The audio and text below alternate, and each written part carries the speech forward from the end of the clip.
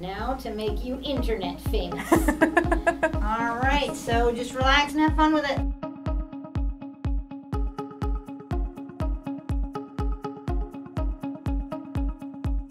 You want to snuggle up to a kitten? I'm like, yes, I do.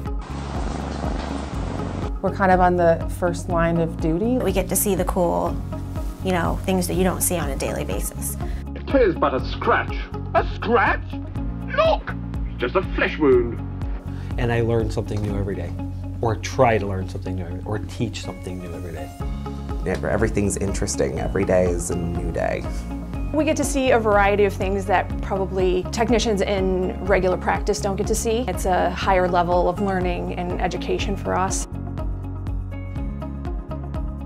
I couldn't imagine working elsewhere. We work well together and it's just, it's a fun, lighthearted group of people. Everybody gets along pretty well. People here are really quick to help each other out. It's like a family. I know other places say it, but some of these people, I have worked with some of these people longer than I've known my wife. There's people I can just look at them and not have to say anything. You know, it's it's getting rough and we're getting a little stressed. We start doing Monty Python quotes or Spaceballs or some of the old movies and we just start laughing and it just turns it around.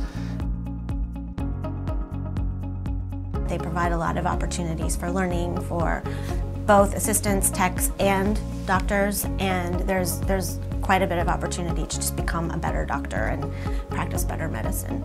There's just multiple learning opportunities every single day. It's not something that I've gone to school for, but definitely all the doctors here are very like oriented on making sure everybody knows what's going on if they want to know. I'm not just a technician. I can do more things. I can advance, I can learn, I can teach. They're very supportive of new ideas as well. Um, there is a possible study that I'm going to be doing here in this hospital. So I think that it's really cool that they would be willing to support me in that endeavor.